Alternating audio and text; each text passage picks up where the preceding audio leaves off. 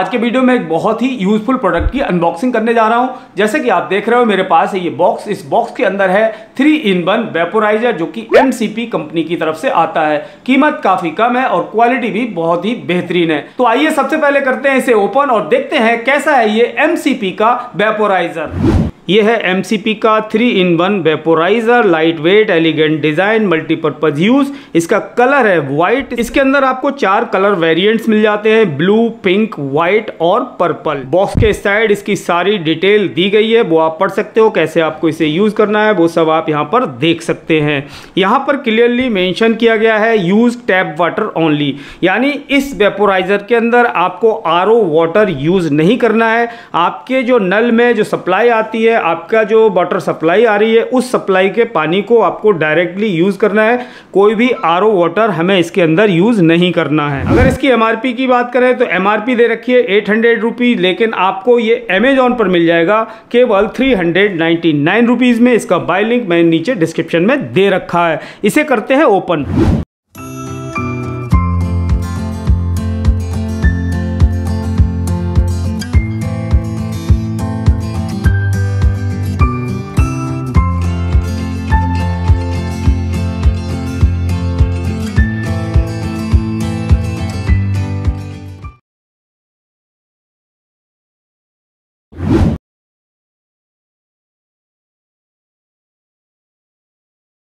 तो इस वेपोराइजर के साथ हमें तीन अटैचमेंट मिलते हैं। पहला अटैचमेंट आप देख सकते हो ये है नोज़ के लिए। आप इसे अपनी नोज़ पर लगाकर आप स्टीम को इनहेल कर सकते हो। अगर आपको खांसी है, गला ख़राब है, या फिर आपको सर्दी जुकाम हो रखा है तो ये अटैचमेंट आपके काफ़ी काम में आ सकता है। इसके अलावा यहाँ पर आपको मिलता है ये दूसरा अटैचमेंट यहाँ पर आप देख सकते हो एक छोटा सा ये होल है। इसी से सारी स्टीम बाहर आएगी और एक ही पॉइंट पर फोकस होती है। यानी ये हमारे तब काम आता है। अगर आपने अपने चेहरे पर फेस पैक लगा रखा है और उसको आपको गीला करना है, जैसे सूख जाता है तो उसके बाद फिर वहाँ पर हम अपने स्टीम से वहाँ पर स्प्रे टाइप का कर सकते हैं, जिससे हमारा फेस पैक गीला हो जाएगा और उसके बाद आपने देखा होगा, जैसे जो लोग फेस पैक वगैरह लगाते हैं, वो जानते होंगे तो वहाँ पर ये अटैचमेंट हमारे काम आता है। और ये है इसका सबसे बड़ा और तीसरा अटैचमेंट ये बेसिकली अगर आपको अपने चेहरे पर स्टीम लेनी हो, उसके लिए बहुत ही यूज़फुल है। इसका शेप भी काफ़ी बढ़िया बना हुआ है, यानी आपका फेस आराम से इसके ऊपर आ जाएगा। तो काफ़ी यूज़फुल प्रोडक्ट है। अगर इसके क्वालिटी की बात करें तो इसकी जो प्लास्टिक क्वालिटी है, वो बहुत ही बेहतरीन है। और ये है हमारा मेन यूनिट आप देख सकते हैं, ये है इसका मेन यूनिट अगर इसकी पावर कोड की बात करें तो यहाँ पर आप देख सकते हो, इसके पावर कोड की जो लेंथ है पावर केबल की जो लेंथ है, वो काफ़ी अच्छी खासी लेंथ हमें यहाँ पर दी गई है, जिससे कि आराम से आप इसे कनेक्ट कर पाओगे। इसे यूज़ करना भी बहुत ही आसान है। यहाँ मैं दिखाता हूँ आपको। आप ये देख सकते हो, इसकी जो क्वालिटी है प्लास्टिक की क्वालिटी है, वो काफ़ी प्रीमियम क्वालिटी है। यहाँ पर हमें हैंडल मिल जाता है, जिससे हम आसानी से इसे होल्ड करके यूज़ कर सकते हैं। तो अब हम इसे यूज़ करके देखेंगे। यूज़ करना बहुत ही आसान है, जो इसके साथ केबल आई हुई है। इस प्लग को आपको अपने एसी सॉकेट में लगा देना है और कुछ भी नहीं करना है। लेकिन आपको इस बात का ध्यान रखना है आपको पहले इसके अंदर पानी फिल करना है। पानी भरने के बाद ही इस प्लग को हमें कनेक्ट करना है एसी सप्लाई से। अगर आप बिना पानी भरे खाली इसको कनेक्ट कर दोगे तो इसके जलने का ख़तरा है, यानी ये ख़राब हो सकता है।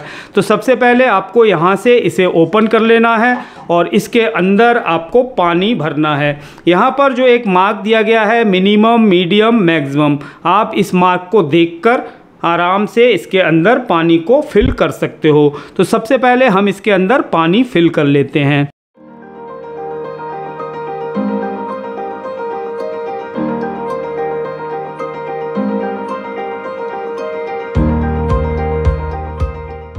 तो हमने पानी ऐड कर लिया है। मीडियम मार्क, जो यहाँ पर एक निशान दिख रहा है, मीडियम, हमने मीडियम तक पानी इसके अंदर फिल कर लिया।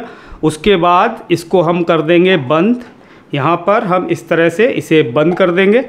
तो आप देख सकते हो, ये टाइट हो चुका है। पानी हमने इसके अंदर भर दिया है। मीडियम लेवल तक हमने पानी इसके अंदर भर दिया है। उसके बाद इस प्लग को हम लगा देंगे सीधा अपने एसी पावर के सॉकेट पर। तो हमने इसे एसी पावर से कनेक्ट कर दिया है। एसी के सॉकेट में लगा दिया है। अब आप देख सकते हो धीरे धीरे यहाँ पर हमें स्टीम दिखाई दे रही होगी आपको। स्टीम बननी शुरू हो गई है और उसके बाद सिंपल है, अगर आपको ये जो नोज़ वाला अटैचमेंट है, अगर आपको ये यूज़ करना है, अगर आपको खांसी है, सर्दी है, और आप चाहते हो कि स्टीम लेना है इनहेल करना है तो उसके लिए ये जो नोज़ अटैचमेंट है, इसको आप सिंपल यहाँ पर लगा दीजिए। तो ये हमने जैसे नोज़ अटैचमेंट यहाँ पर लगा दिया। अब अगर हमें कोई स्टीम लेनी हो, हम यहाँ से इनहेल कर सकते हैं। इस तरह से आप लगा सकते हो। और अगर ज़्यादा गर्म ये लग रहा हो तो आप इसको ऑफ़ कर दीजिए। ऑफ़ करने के बाद, मान लीजिए मैंने इसे ऑफ़ कर दिया। ऑफ़ करने के बाद थोड़ी सी जब स्टीम की जो हीट है, वो थोड़ी सी कम हो जाएगी। उसके बाद आप इस तरह से लगा सकते हो। और फिर से जब हम अटैचमेंट को, इसको अगर हटा के हम दूसरा अटैचमेंट यहाँ पर लगा सकते हैं। मान लीजिए मैंने इसे लगा दिया। यहाँ पर जो होल है, उससे डायरेक्ट स्टीम आ रही है। अब आपने मान लीजिए अपने फेस पर कोई फेस पैक वगैरह लगा रखा है और उसके ऊपर आपको स्टीम लेनी हो तो आप इस तरह से स्टीम ले सकते हो। ऐसे करके स्टीम ले सकते हो। काफ़ी यूज़फुल है ये। और जो हमारा मेन अटैचमेंट है, वो भी मैं आपको एक बार लगा के दिखा देता हूँ। ये है हमारा मेन अटैचमेंट इसको हम इसके ऊपर जस्ट लगा देंगे। और अगर आपको अपने पूरे फेस पर स्टीम लेनी हो, यहाँ पर आप देख सकते हो, इस तरह से आपको अपना फेस रखना है। तो दोस्तों, ये जो प्रोडक्ट है, बहुत ही यूज़फुल प्रोडक्ट है। मैंने बेसिकली इसे मंगाया था, मुझे खांसी हो रही थी, सर्दी, जुकाम हो रहा था। तो डॉक्टर ने बताया था कि आप स्टीम लो, उसके लिए मैंने इसे मंगाया है। लेकिन ये थ्री इन वन है अगर आपको इससे फेशियल करना हो फेशियल में आप काम में ले सकते हो। चेहरे पर अगर आपको स्टीम लेनी हो, उसके लिए आप यूज़ कर सकते हो। अगर आपको सर्दी, जुकाम है, खांसी है तो उसमें भी आप इसे यूज़ कर सकते हो। और अगर आपने फेस पैक वगैरह लगा रखा है और आप चाहते हो कि चेहरे पर स्टीम को मैं स्प्रे टाइप का करूँ तो उसके लिए भी आप इसे यूज़ कर सकते हो। अगर इसकी बिल्ड क्वालिटी की बात करें तो इसका जो प्लास्टिक मटेरियल है, वो बहुत ही प्रीमियम क्वालिटी का है। साथ ही साथ इसकी कीमत भी काफ़ी कम है। अगर आप इसे परचेज करना चाहो तो इसका लिंक मैंने नीचे डिस्क्रिप्शन में दे रखा है। वहाँ से जाकर आप इसे परचेज कर सकते हो। तो दोस्तों एमसीपी का ये वेपोराइजर आपको कैसा लगा, हमें कमेंट बॉक्स में कमेंट करके ज़रूर बताएँ। आज के लिए इतना ही दोस्तों, मिलते हैं अपने नेक्स्ट वीडियो में। तब तक के लिए जय हिंद बंदे मातरम।